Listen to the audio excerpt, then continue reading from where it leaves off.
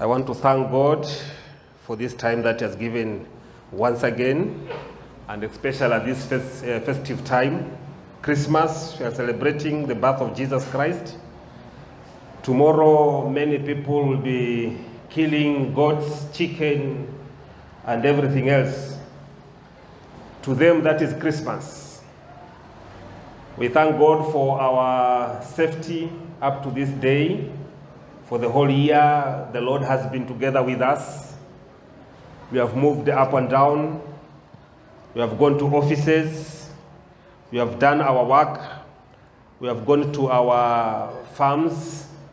We have gone to our businesses, maybe our shops, our companies for the whole year. We want to thank God so much for the protection. So we welcome all of you today for yet another service. We welcome our audience all over the world through the media, through the social media, that is YouTube, Facebook, Instagram, uh, TikTok. We welcome all of you so that you can be able to celebrate together with us as we celebrate Christmas. Today, we want to learn about what our God is after. In other words, we can say God is after our restoration. God is looking for restoration from us.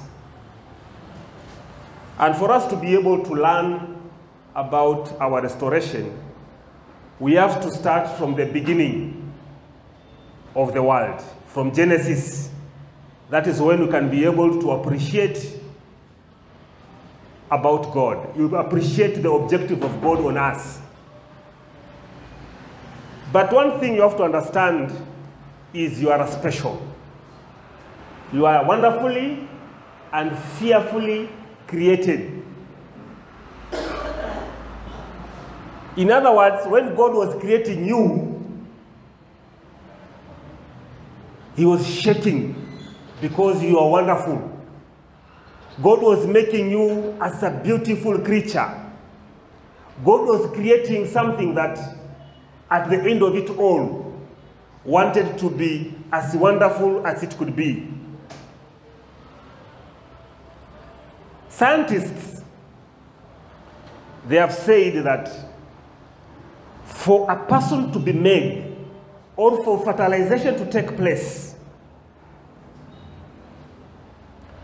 there are about 300 million seeds that are released to fertilize an egg. Out of 300 million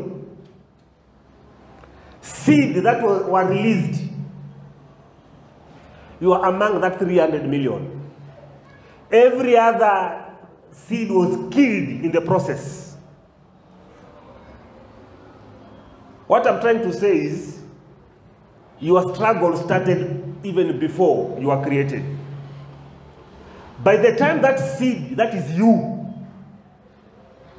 were able to be fertilized and the process started of your creation, there was a very big struggle. If you go to, the, to read about scientists, how fertilization takes place, there are processes, there are steps that take place by the time fertilization takes place. In other words, out of the 300 million seeds,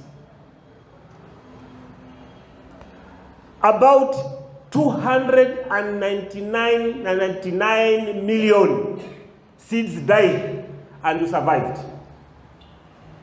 So you must be special. At whatever angle you look at yourself, if you are able to struggle and succeed by surviving the fatality of about 299 million seeds that died and you survived, you must be special. There must be a reason as to why you succeeded to survive. Why were you not killed by that chemical that killed others? Why were you not worn out by the process that worn out others? It means there is a special function and a special objective that God created you. And that is why today God is not looking at us for condemnation. God doesn't want to condemn you, doesn't want to condemn you because of your behavior. But God is looking at restoration. The main objective of God is to restore us. And for us to be able to understand the birth of Jesus Christ, then we need to see this process. We cannot just understand the birth of Jesus Christ if we do not know his objective. And one of his objective, and the main one, is to restore human beings. We are told in Genesis chapter 1, verse 26, that God made us in his own image. When the 299 million seeds died and you survived, God wanted to have an image of himself in you. He wanted you to be a perfect man, a perfect woman. He wanted to be a perfect creature. The people who resembles God. That was the objective when he was creating a man. And because he could not be exactly like God, he had to leave some boundaries for us to be able to observe, some instructions that we're supposed to follow. So, after a man was created, God was happy because he could see his photocopy in a man. He could see the creativity in a man. And one test that God gave to a man immediately he created was Adam to name every tree, every animal, and everything else that was created. The names came from Adam. In other words, the maker, God, after making Adam, he tested his creativity by giving him an opportunity to name animals, plants, the heavenly bodies, and everything else. And it is out of that naming that Adam never saw a person that could be able to resemble him. And God was able to create a woman from Adam. And Adam said, Now this is my rib. Now this is my bone out of my bone. But when you go to Genesis chapter 3 23,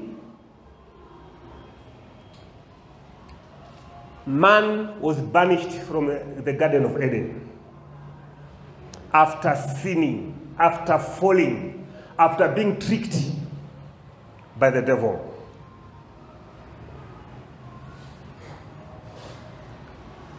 Who is this devil that was able to trick the creature of God, Who was able to trick the image of God in a man? The Bible says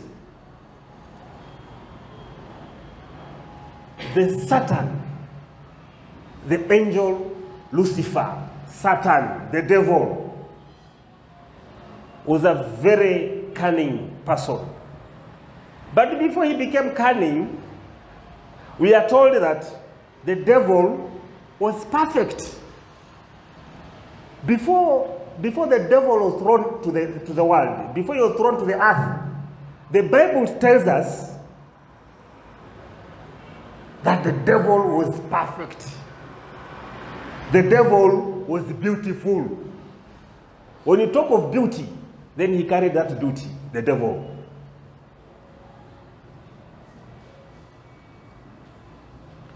We are told that he was covered by all precious stones in the Garden of Eden.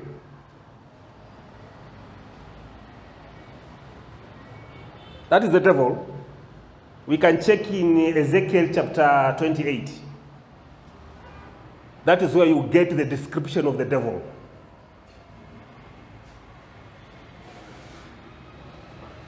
You see how the devil was. He was created a beautiful angel. Huh? Very wise, very holy, perfect. That is Ezekiel chapter 28, starting from verse 12.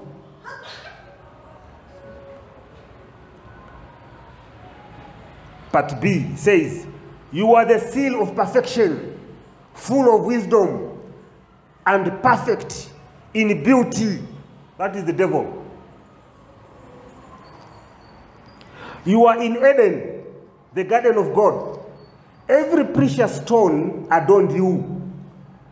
The stones like carnelian, chrysolite, emer- emer- emerald, topaz, onyx, jasper, lapis, lazuli, turquoise, and beryl. These are precious stones, very expensive, that cover the devil. Your settings and mountains were made of gold. On the day you were created, they were prepared. In other words, when devil was being created, God took his time because he was trying to create a perfect creature. You are anointed as the guardian cherub, for so I ordained you. You are on the holy mount of God. The devil was on the holy mount of God. You walked among the fiery stones. You are blameless in your ways. From the day you were created till wickedness was found in you. You know, the devil was so beautiful. Eh? We are told is the, is, the, is the star, the bright morning star. You know? In other words, he was glittering, the devil. So beautiful. To an extent that he felt that I'm so beautiful, and he became proud. And now he wanted to become more than God. He wanted to elevate himself beyond God. That is the wickedness that was found in him. And the Bible says, through your widespread trade, you are filled with violence and you sinned. So I drove you in disgrace from the mount of God. And I expelled you, guardian cherub, from among the fiery stones. Your heart became proud on account of your beauty, and you corrupted your wisdom because of your splendor. So I threw you to the earth. I made a spectacle of you. That is the devil.